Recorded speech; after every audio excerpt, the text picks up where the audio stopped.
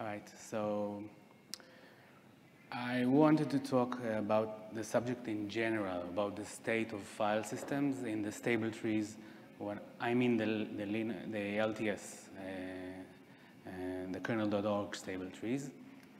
Um, my personal uh, perspective on this is that I'm using 5.10 LTS and using XFS on 5.10, and I realized that it has not been maintained at all, and I can go into the, the, the history, but some of you already know it.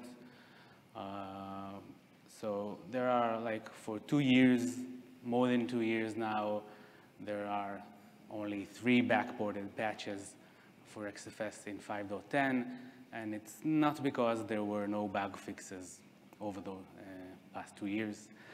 Uh, and I've done some work. Well, for, first of all, I'd like to say uh, in advance, this is my interest to run XFS on 5.10. It's my responsibility to backport patches, and I indeed uh, made some progress with that. I can show it later if there's an interest.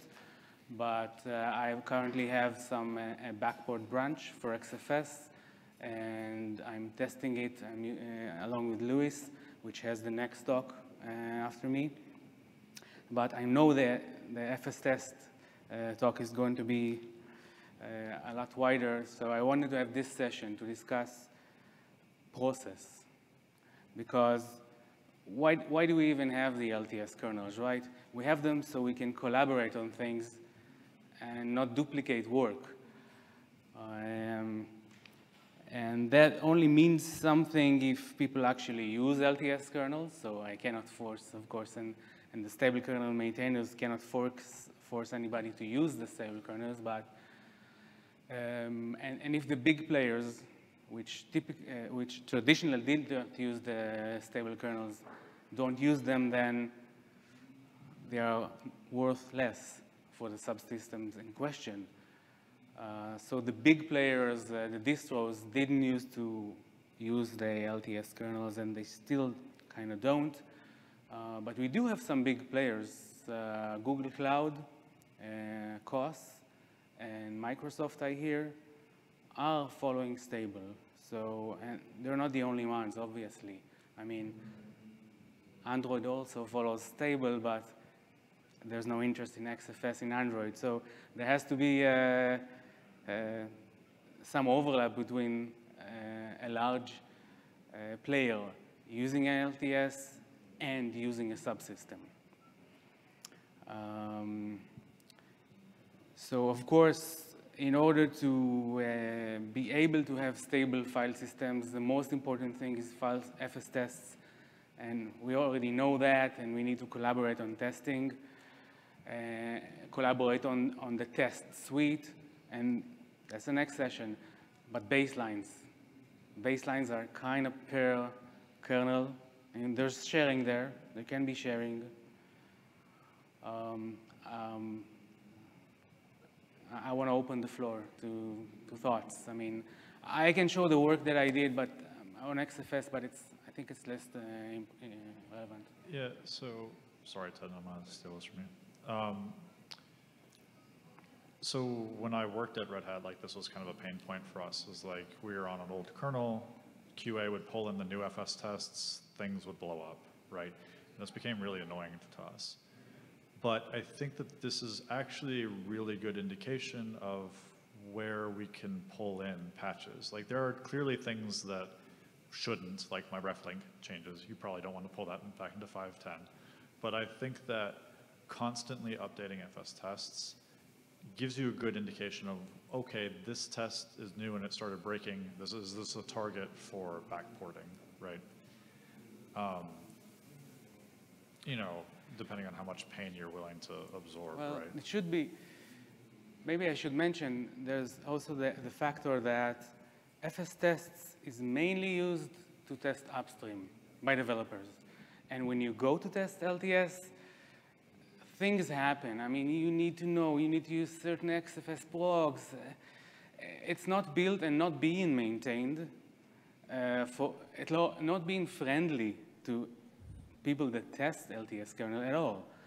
So one of the things that I've done recently is just try to learn from LTP, which is another project that I'm working with for FS Notify, which is a project that is very much friendly to stable and being tested constantly on uh, stable kernels. And they have some practices that I thought we could maybe adopt. So just the beginning of the beginning is a standard way to, to, uh, to mark tests as regression tests of a fix. Uh, so I just added two annotation. It's supposed to be merged soon, as soon as Zorro gets his uh, hands around. Uh, so just added two annotation that fixes by commit and fixes in kernel version. That doesn't mean the test will not pass in a kernel version in some enterprise distro or backport. It just means that if the test fails, you get a hint. The hint says, maybe you don't need to backport this commit, or maybe that's not going to work in the kernel that you're testing. And one more thing that you can do with those annotations is, and I haven't, done that, create a simple script that works on your kernel branch, whatever private kernel branch, and checks whether the fixes, annotated fixes commits are in your kernel branch, or if they have been backported and annotated as upstream uh, commit. And then you can automatically create an expansion list that is custom to your kernel branch. Yeah, so I mean, I think it perhaps might be useful to think about this from a more specific perspective. So I think most file systems, with XFS being the notable example, uh, exception, are very happy to let the stable maintainers auto-pick um, bug fixes uh, into the stable kernel trees. Uh, my personal experience with EXT4 is less than once a year there's a screw up. Maybe it's once a year. There's like some screw up where they have to revert a patch because, you know, it wasn't, uh, uh, you know, it wasn't suitable for backporting and they didn't know that or the, their automated scripts didn't know that. Um, that actually escaped to an LTS version. Uh, much more often, someone notices when they send it out to the stable list and someone says, yeah, that one you really shouldn't backport, and then they catch it right away. So that's why I believe most of the file systems have been very happy letting um, Greg and Sasha, you know, the LTS maintainers do their thing. Uh, XFS has been the notable exception to that, uh, and there are good reasons for that. Uh, the XFS folks aren't in the room, so, you know, uh, suffice it to say there's history there.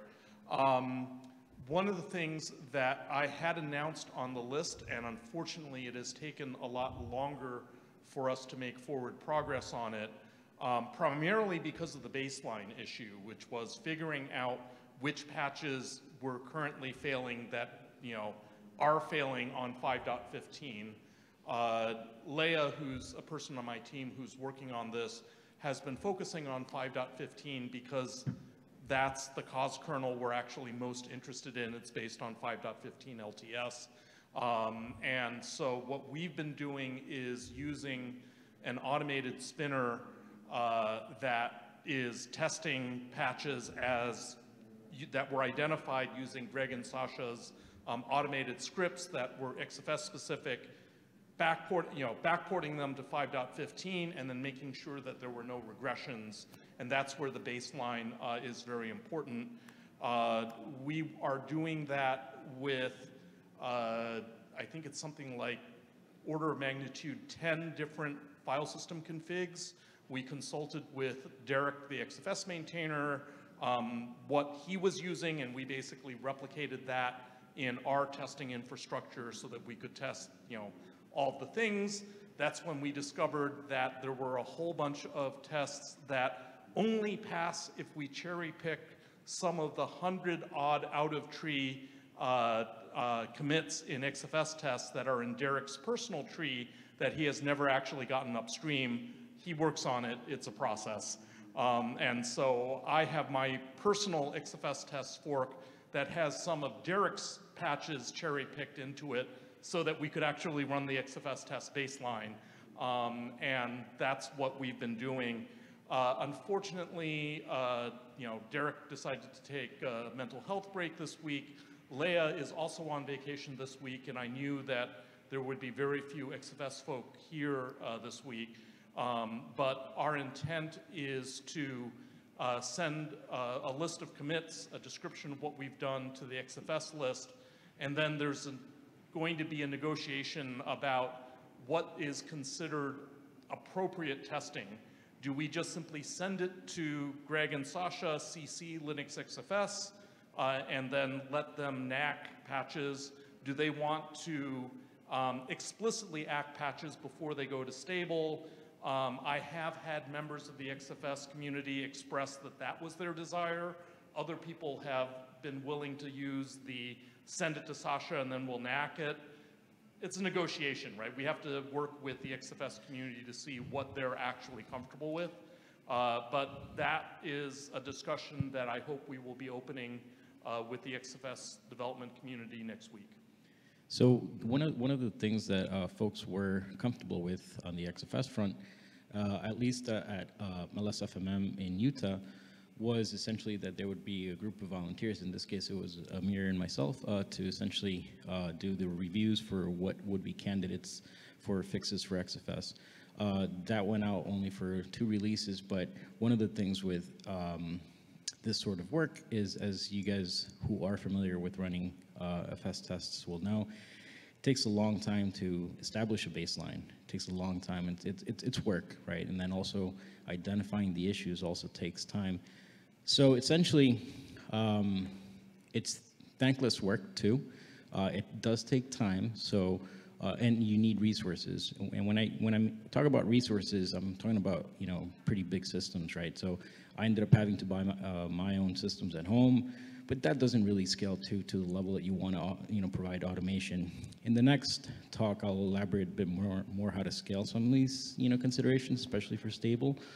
But as it stands right now, um, essentially it's it's each developer doing their best effort, right? But that I don't think that scales, and that's uh, I, am not sure if Darrick is going to be giving his talk on uh, maintainers, you know, you know, scaling and all that stuff? Is is he? Is he? No, no he's not. I've he. Okay. I got an email from him of what he wants to talk about, and I'm gonna read, pretend to be Darrick for. Okay, so um, so I think that um, I think what we need as a community is essentially a bit more of a collaborative effort on that front. Uh, resources is, is, a consideration, but you know, again, in, in the next talk, I'll talk a bit about that too. Uh, but on the XFS side, you know, if you have candidate fixes, uh, I think you can pretty much send them to Amir and, uh, you know, and me, and then basically we'll put them into a queue of, uh, of tests that we're basically running. Uh, and that should essentially give us confidence whether or not these are, um, you know, proper candidates or not.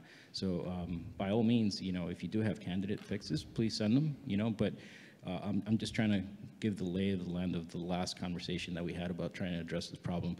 But I'm also trying to also provide a, an apology, I guess, as to why you haven't seen any other fixes yet merged for a long time for XFS, and that's because if you change employers and you lose a huge system, then basically you basically lose your rig, right, to test a lot of stuff. So that's kind of like one of the problems, right? If you change employers and you had big system to, to run tests, then where do you run them? So there, there are solutions to these problems, but you know, it requires a bit more collaborative efforts. Yeah. Okay, we're gonna let Jan say something. He's been waiting a good long while. Yeah. Hi. Hello. Yeah, you're good, man. Can you hear me? Yep. Yep. Okay. Uh, so, yeah. So how how actually distros deal with this like file system backporting fixes is uh, like for example we very much do care about XFS fixes. Yeah. So in our kernels. Uh, although stable doesn't pick up fixes, we do pick up for the distro kernel basically. And I think Red Hat does the same. And it's that we leverage the Git fixes infrastructure. So basically when you, when you have the fixes tag, then even though the patch actually doesn't go to stable, it actually goes to us and then we basically backport the patch and add it to our distro kernel. Yeah? And that, that uh, and we also do all the testing like Luis did a lot of the automation as well. but but like regardless of that, basically the point is that the distro then does the testing. And so to get the confidence that actually the patch is good to go to the customers. and so so this is the resources that need to be put both in the like developer time, like people actually looking at the patches, people who have at least a bit of a clue whether the patch is safe. They look at the patch and decide whether this is good to backport or not, and then of course, like quite a lot of testing. So I'm not sure if, like as that said, it mostly works out fine even without like targeted testing for ext4. But on the other hand, it didn't work out a few times for XFS, which I believe is why, things kind of, you know, by, by XFS guys decided that it's better for them to not backport anything because, you know, there were a few screw ups and let's say the personalities didn't work out together. so, uh, yeah, so, so like I, I think that git fixes is also like useful thing for this because there you have already the annotation like Uh, Ted, Yeah. let me just, uh, oh, Yeah. I'm sorry, John, are you, are you finished? uh, yes just, okay, I just want to give a, glim- a glimpse about something. I'll let you uh, uh, ask what you want, but uh, I, maybe some of you have been staring about on, at what I'm, I'm trying to uh, display for a while, trying to figure out what it is. So uh, this was mostly auto-generated, right?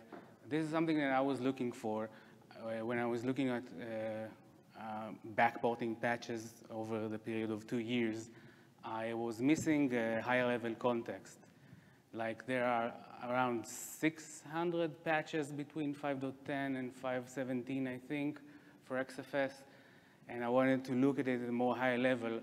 So I created a tool that takes all the commits and finds them on the public uh, inbox and a mailing list, and then uh, finds the cover letter and creates the links to the cover letters, and then I have all the all the patch series and the patch series le- levels that I went into upstream, and then I could easily uh, pick by higher level patch sets in, instead of picking commits. That's one thing. It's easy to, to get out things that you don't need, and also it's easier to understand by reading the cover letter uh, if you have any dependencies and such. So it's still human work. It's a lot of human work, but this is a great assistant for that human work. And I've created a branch with the backports already, which is being tested.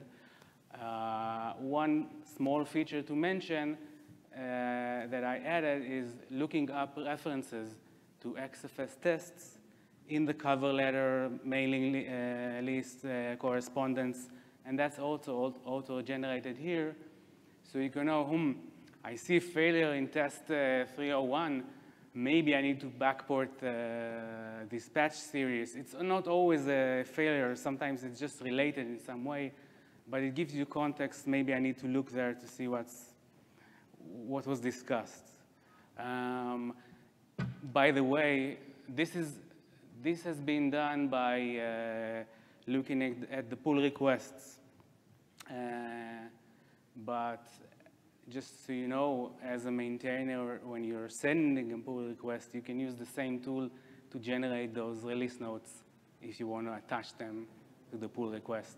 I mean, this is uh, generated in a reStructuredText, but the tool also generates in text format, so I don't know, maybe you like that, you can use that. It's not, it's not been merged to uh, before, I don't know, I need to talk to Konstantin if, if you guys find it interesting. Yeah, One other thought uh, that's probably worth uh, maybe some discussion is, uh, as the ext4 upstream maintainer, about every three or four months, uh, I'll take the latest LTS releases, so 5.10. whatever, uh, 4.19 whatever, and run a full set of XFS tests that recent as of that time uh, to see what test failures there were. Uh, and it's not running the test that's hard, right? I mean, for me, it's, you know, literally less than $2 per, you know, retail GCE cost to run a full set of tests on 12 different XFS configs. It's not resources really. It's the developer resources to then interpret the failures, figure out if these are failures that will never actually get backported because there's no way we're going to, you know, get those changes back into the 4.19 kernel, or if it's a uh, patch that should have been backported but somehow didn't get auto-picked. And I think on average, it, I do this about every four months because that's when I have time. On average, there's like maybe between one and three patches that I will then manually backport um, and then send to the stable kernel uh, maintainers. So that is something that I think, you know, I don't know how many upstream file system maintainers do that. It's just simply a matter of time. Um, maybe there are improvements we can make to, uh, you know, auto-generated exclude lists that would, you know, make that less of a time burden. Or maybe this is an opportunity for us to recruit um, you know, other developers into our file system development community to do that work because there's no reason why the maintainer is, you know, auditing uh, LTS test runs. Um, but that is something that is good and useful to do. There is value in uh, running, you know, XFS tests against the LTS kernels just to, you know, find, even if you're uh, using the auto backport mechanisms, the auto backports don't always, you know, get everything. I, I would go further and say that, I mean, I'm not a fi file system maintainer, but I'm a file system user. But if you're in charge of a project, a file system project, upstream is not a product. Um, no, you're not using upstream, you're using a, a stable kernel. Using a stable kernel, which is not LTS, that's fine. I want to ask you why. I want to ask you why, but I mean, if you're choosing one kernel per year, why not choose LTS? Yeah, I mean, I think that's obvious. You, even in a company like Facebook, you probably have more than one kernel. And Microsoft, you know, they're going to be running kernels that are that are basically LTS, like your example you mentioned. Mm. But there's also, you know, lots of workloads that are running on something that's more recent, and you know, Red Hat and SUSE. And it's recent, but it's not upstream. I'm not. I'm not talking. no, no, I, I agree. LTS is upstream. XFS currently fixes for upstream, right? It's, it's .0. Not yeah. even the, the yeah. first LTS is, is usable. So, so there's some data here that may be really helpful. So I was curious about your point. So I looked at, at you know, how many things are in 5, 510 stable, okay? From where? From which file system? I looked at eight of them. So I just looked at it, right? So ext4, great job. Ted's doing a good job. I know. He has over 25% of his commits are in stable. So 382 commits since 510, 96 of those are, you know, it's well over 25% actually because I'm including merges there. So um, BTRFS had 140. Um, I looked at my percentage as a maintainer. I'm obviously not doing a good job because I'm at about, know, 13% or something, right? So I should be, I should have a higher percentage of commits than that. Um, it looks like that the number you're aiming for is about 25% based on looking at some of these other file systems. NFS is close, it's about 20%. So file systems should be backporting about 20% of their commits. ext4 backports more. I, I don't think percent matters though. I well, mean, the, the it's, thing, it's a fixes. Like, well, I know that these are fixes, but what I'm getting at is that as a general rule, we're not backporting enough. Right. XFS was a disaster, but 9P had two I mean, is that a good thing? I, I backported 50 something patches of XFS out of 600. Yeah, I mean, I think a right number is probably higher than that because there's probably performance fixes and other things. But I am uh, curious that the numbers in LTS seems to be larger than 10% for most file systems that are like not just ext4. So obviously maintainers, you know, we shouldn't be backporting all these things, right? That don't have to be. But clearly there are file systems that do it, like NFS backports a lot higher percentage than NFSD. I don't know if their bugs are any different. I don't know. But anyway, it's an interesting story to look at. But one of the things that as a maintainer, it's hard for me to run is I don't, there's no like, I can't fork XFS test and want, today, XFS test is going to fail on 515 or 510 because we changed reflink behavior. So can't we have a stable branch of XFS test? Uh, well, yeah, it's an issue. FS test is not friendly to people testing stable, not so friendly. But specifically for what you just said, the annotations that I added can help. Because if the test says uh, since kernel uh, something, you can run your own script to auto-expand this test. Yeah. I- I think- Uh, it's, it's going to be merged to fs FSTest soon. What, what I did is I created the, the, the helpers to annotate, and I annotated a lot of the, ex, uh, the overlay FS tests. So we have an example you can uh, continue. Yeah, and to be fair, like, I think that's great to have like the actual infrastructure, but like the, at least for Btrfs, and I assume most everybody else, like, we've already had this and like, when we do the comments for the thing, if it's a regression test, it's like, okay, it was fixed by this patch title.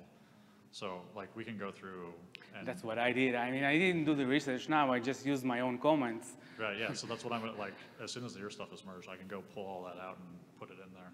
But, okay, it's two o'clock, um, people on the call, we are moving over to the storage track since it's shared. So if you wanna jump off of this call and join the storage track call, uh, that's where we'll be. Thanks. Thank you.